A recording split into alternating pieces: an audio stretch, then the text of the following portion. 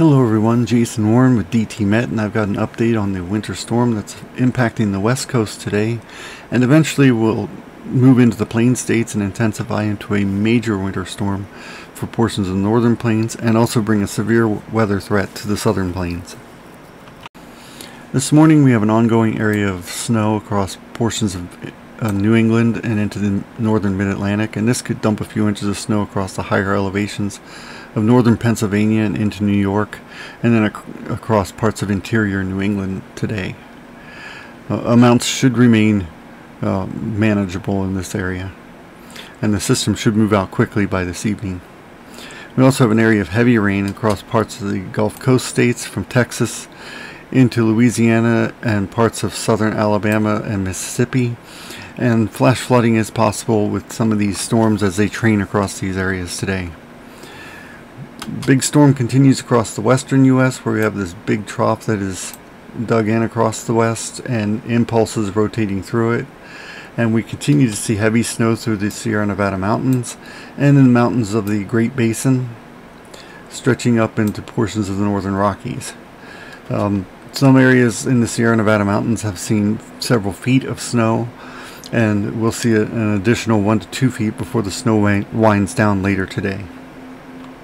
This huge trough across the west is eventually going to spread across the southern Rockies and Great Basin tonight and through the day on Monday, and eventually emerge in the plain states on Tuesday, where a surface low is going to develop and intensify across the central plains. And this system is going to bring very heavy snow to the northern plains and the threat of severe weather for the southern plains and Mississippi Valley. As the system in the west spreads inland, snow showers will continue across the Rocky Mountain states through the day on Monday and into Monday night. As we head into Tuesday morning, the system will begin to intensify to the lee of the Rockies, with heavy snow developing across the western Dakotas down into eastern Colorado and eastern Wyoming. The severe weather threat will develop from southern Nebraska through Kansas into Oklahoma and possibly as far south as northern Texas. The system will continue to mature and intensify during the day on Tuesday with blizzard conditions expected to develop across parts of the Dakotas and eastern Wyoming, possibly into western uh, Minnesota during the day, with severe weather expected to the south across parts of eastern Texas and into the lower Mississippi Valley, especially across southern Arkansas and northern Louisiana, where the threat for tornadoes will exist. The Storm Prediction Center's Day 2 outlook, which is for Monday, shows the severe weather threat is marginal across parts of Kansas, stretching down into Oklahoma and northern Texas. And this is for the threat of damaging winds, large hail, and possibly an isolated tornado or two. The Day 3 outlook, which would be for Tuesday, shows an enhanced risk of severe storms across southern Arkansas, northern Louisiana, and far southwestern Mississippi and far northeastern Texas. This is surrounded by a slight risk. This is for the potential for damaging winds, large hail, and isolated tornadoes.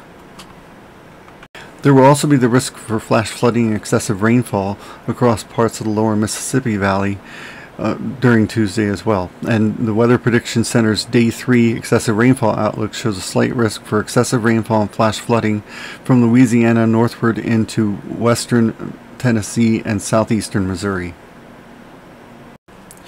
Looking ahead, we'll have to continue to watch that system as it wraps up across the northern plains next week.